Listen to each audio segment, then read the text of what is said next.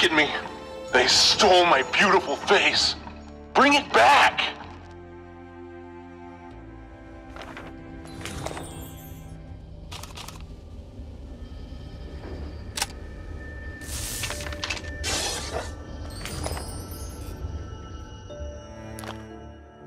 Yes, this is my true face.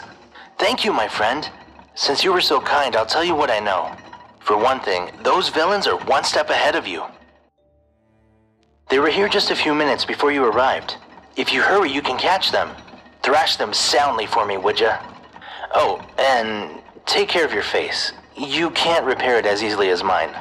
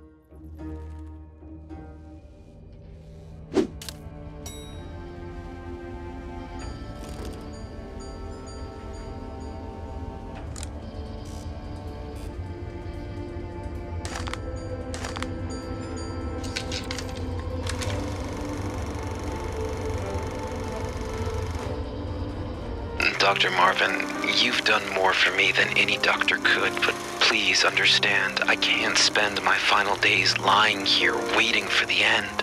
I won't give up on finding a cure until my dying breath.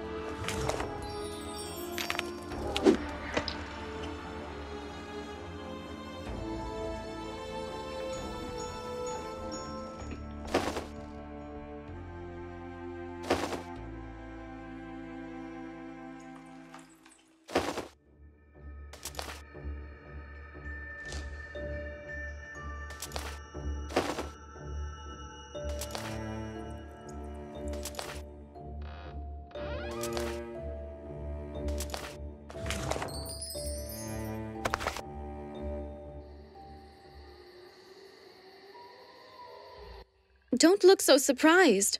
You're the one who asked to meet you here, in spite of my father's wishes. Your letter said you'd take me to him, so of course I.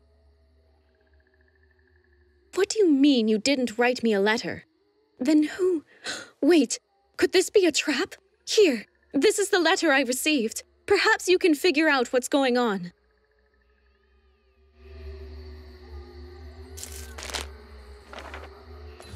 I'll wait for you here. I can't go back home this late. Father would see me for certain. The letter mentioned a theater. Do you think that's where James is?